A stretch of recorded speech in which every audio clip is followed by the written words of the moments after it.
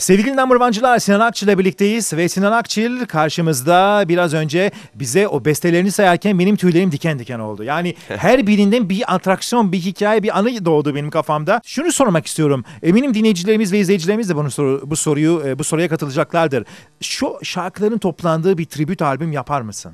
Şimdi yani tabii bir besteci bu, olarak best of. Tabii bunların e, konuşulduğu platformlar var ama ben o platformlara genelde e, 20 yıl sonra randevu veriyorum. Ama sen 20 yıllık şarkıyı 7 yılda yaptın. evet. 20 yıl sonra senin o zaman böyle 8'li best of'ların falan olması lazım. Şimdi öyle aslında ama tabii ki belki bu önümüzdeki albümden sonra araya bir ara albüm olarak e, hatta ve hatta belki ilk onunda söyleyip arka yüzünde de bunları ben enstrüman olarak piyanomla çalmak Süper. gibi bir çok güzel fikrim var. Hani eee önce böyleydi gibi hani atıyorum evet, bir müthiş. başlıkla. Bu tabii ki bunu e, yani var kafanda istiyorum. bir şey. Var tabii. Artık Bu, zorluyor çünkü zorlanıyor insanlara yani. tabii ki insanlara e, o duyguyu benden geçirmeyi isterim. Evet süper olur. Ve e, kaç yıldır? İlk 2004'te mi dedin yayınlandı? 2004. 2004'te yayınlandı ilk bestesi. 2013'e geliyoruz. 9, 9 yılda. 10'un 10. 10 yılda. E, 10 olacak. Tabii tabii 10 yıl olacak. E, 10. 20, yılı.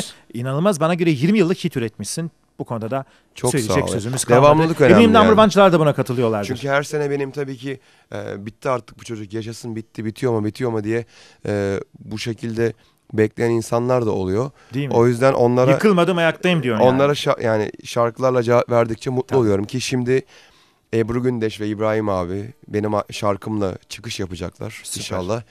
Ee, bekliyoruz. İbrahim Tatlıses'in de albümüne bütün müzik yani tarzı türü ne olursa olsun herkesin beklediği, beklediği bir kişi. Bir albüm.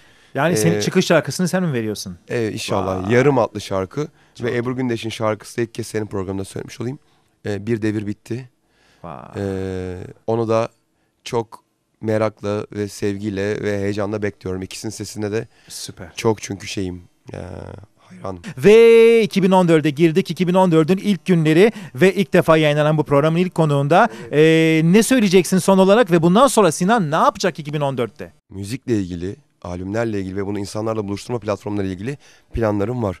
Bunlardan biri de tabii ki ya Mart ya Nisan olarak görüyorum. Yani yeni, yeni albüm geliyor. Yeni albüm veya yeni single veya max single onun adını daha bilmiyorum ama her zamanki gibi artık yaza doğru yaz çocuğu gibi evet. hani algılandığım eller havaya için. yapacak mısın? Aynen eller havaya ile beraber Sonrasında da hüzünlendirecek bir şarkıyla böyle bir ge- geri dönüş yapmak istiyorum. Ve birliklerimizin sonuna geldik. Söyleyecek çok da fazla bir şey kalmadı. Gerçekten de e, bir müzik adamı, duygu yönü, coşku yönü, her yönü yüksek olan bir kişiydi sevgili Namurvancılar. Ve yakışıklı, e, dinamik çocuk Sinan Akçıl, Michael Kuyucu haftanın konuğu programının ilk konuydu. Ne yapalım? Onun güzel bir şarkısıyla veda edeceğiz. Wow. Hepinize sevgiler, mutluluklar diyelim ve haftaya farklı bir konukta birlikte oluncaya kadar son bir cümle alıyorum. Mutlu yıllar diyorum ben. Son cümlem şudur. Michael Kuyucu gerçekten e, bu ülkede müzikal anlamda çok büyük hizmetleri vardır ve inanın en az benim kadar yakışıklıdır. Utandırıyorsun. Mütevazı olduğuna bakmayın. Michael Kuyucu e, müzikten hiçbir zaman ayrılmamanı diliyorum. Oy veren herkese, SAFC tüm fanlar hepinizi çok seviyorum. Hoşçakalın. Ve bütün number sevgiler gönderiyoruz.